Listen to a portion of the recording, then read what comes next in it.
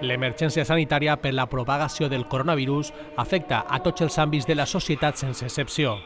Un cas és el culte religiós i per tal d'evitar el contacte entre la gent i no ser focus d'una possible infecció, les dues parròquies de la Pobla feren un comunicat dissabte al matí on anunciaven que quedaven suspeses les catequesis d'adults, de confirmació i d'infància i també l'activitat dels júniors.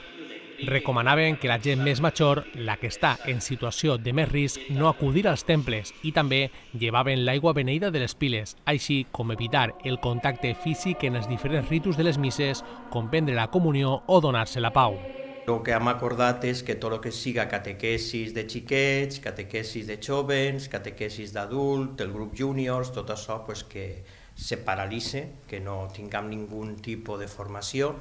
Inclús també deixarem només la celebració de la missa hasta que se puga. Mentre no se puga, pues ja ho, ho, ho avisarem, però hem llevat tot el que significa pues, el Via Crucis, els rosaris, el, les xarles quaresmals, les, tot el que siga coses que acompanyen el jueves eucarístico,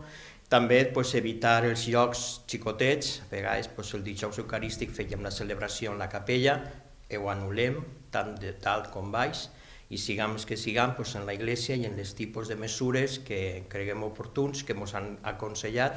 Unes mesures adoptades per les parròquies de la Pobla que quedaren en res, ja que l'arxidiòcesi de València va comunicar hores després que quedaven suspeses totes les celebracions religioses públiques amb fidels a tots els temples i convidaven a la feligresia a que seguira la missa pels diferents mitjans de comunicació.